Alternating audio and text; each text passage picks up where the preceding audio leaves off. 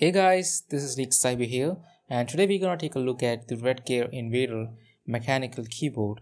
This keyboard is completely backlit with RGB lighting effects and uses Kailh blue switches. So let's get started.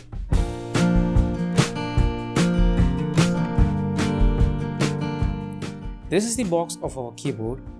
Unboxing it, you get the keyboard itself, a user manual, and a keycap puller. Taking a look around the keyboard, you will find the body is made of nice matte plastic finish and over here is the Redgear logo. For an initial impression, I would say that it looks very compact with enough spacing between keys. The body looks very durable and premium. I tried giving it a twist and bending it, but it is way more tough than I thought. The build quality here is just amazing. This keyboard also comes with a braided cable which is extra thick and very strong. The end USB connector is gold plated. Now let's plug this to a PC. So here you go, this is how it starts.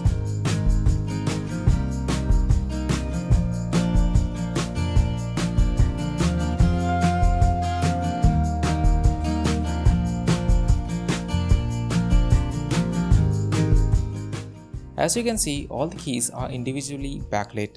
Each row have different colors. It is to be noted that you cannot change colors. The only thing you can do is either turn it on or off and change the brightness levels. You can easily program the LED lighting modes by pressing the function button and the LED mode key simultaneously.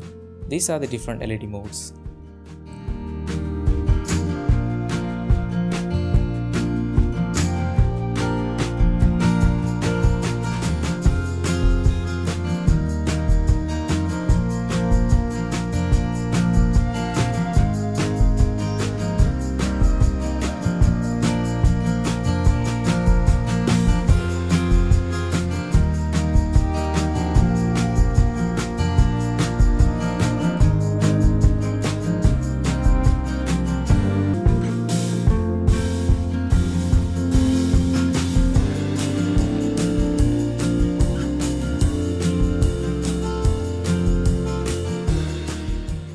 And finally, the best thing about this keyboard, the custom modes. You can program this keyboard to light up the keys that you want to use. For example, if you play a lot of FPS games, you probably use the WASD keys and the direction keys.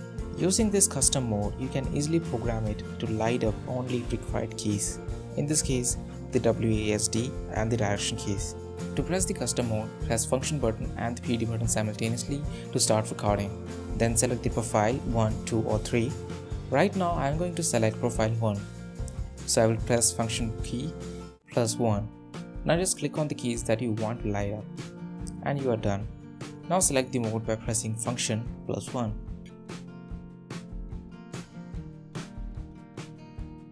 As I said, this mechanical keyboard comes with Kailh blue switches which is gonna make you feel that you are typing on a typewriter.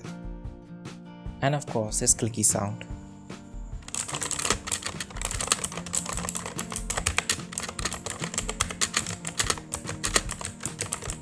Talking about the night visibility, I will give it a 10 on 10. The keys are perfectly visible without causing any strain to eyes. I also own another gaming keyboard. This is from a brand called GAMDIAS. The problem with this keyboard is that the keys are not individually backlit like the Redgear one, so at night the key letters aren't visible, but the Redgear one here is perfect for night usage.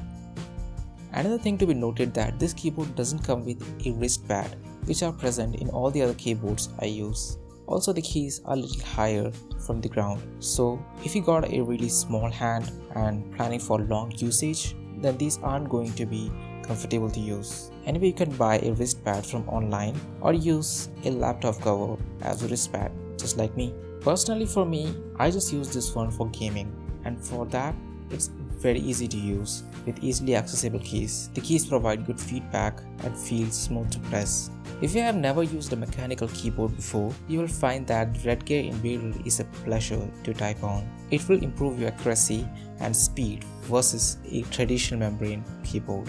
Now coming to the price. This keyboard retailed for about 3000 rupees on Amazon, which makes it one of the most affordable mechanical keyboards. Well, you may be thinking, why mechanical keyboards? Why is everyone so crazy about this heavy typewriter-like functioning device?